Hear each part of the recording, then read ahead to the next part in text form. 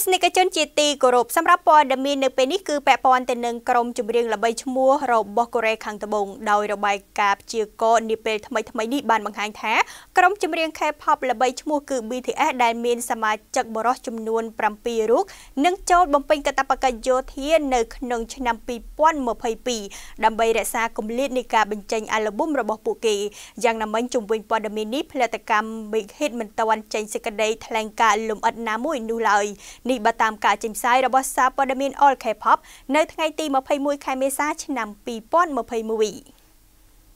ថ្មីថ្មីនេះមានរបាយការណ៍ពីលទ្ធផលព្យាករណ៍ថាក្រុមចម្រៀង K-pop ល្បីឈ្មោះ BTS ដែលមានសមាជិក7នាក់នឹងចូលបំពេញកាតព្វកិច្ចយោធាទាំងក្រុមតែម្ដងក្នុងឆ្នាំ2022ដើម្បីកាត់បន្ថយគម្លាតនៃការចេញអាល់ប៊ុមរបស់ពួកគេនេះបើតាមការចេញផ្សាយរបស់សារព័ត៌មាន All K-pop នៅថ្ងៃទី21ខែមេសាឆ្នាំ2021របាយការណ៍ព្យាករណ៍ពី Analyst បានសរសេរថាយើងរំពឹងថាសមាជិក BTS ទាំងអស់នឹងចូលរួមជាមួយគ្នាក្នុងការបំពេញកាតព្វកិច្ចយោធានៅពាក់កណ្ដាលឆ្នាំ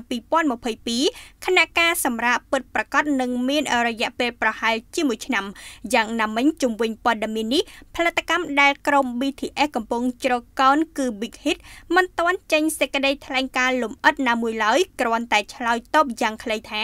ពួកគេគ្មានយោបល់អ្វីទាំងអស់លើដំណឹងនេះគួរជម្រាបផងដែរថារបាយការណ៍ព្យាករណ៍ខាងលើត្រូវបានបញ្ចេញ ស្របពេលដែលក្រសួងការពារជាតិកូរ៉េបានធ្វើការកែសម្រួលឲ្យមានការពន្យាពេលនៃការចូលបំពេញកាតព្វកិច្ចយោធារបស់សិល្បករល្បីៗដោយពួកគេអាចស្នើសុំពន្យាពេលរហូតដល់អាយុ30ឆ្នាំទន្ទឹមគ្នានេះប្រសិនបើក្រុម BTS ធ្វើការពន្យាពេលចូលបំពេញកាតព្វកិច្ចយោធានោះលោកជីនដែលជាសមាជិកមានវ័យច្រើនជាងគេក្នុងក្រុមនឹងអាចពន្យាពេលបានដល់ឆ្នាំ2022ហេតុនេះហើយប្រសិនបើពួកគេចូលបំពេញកាតព្វកិច្ចយោធាទាំងក្រុមគឺអាចនៅក្នុងឆ្នាំ2022តែម្ដង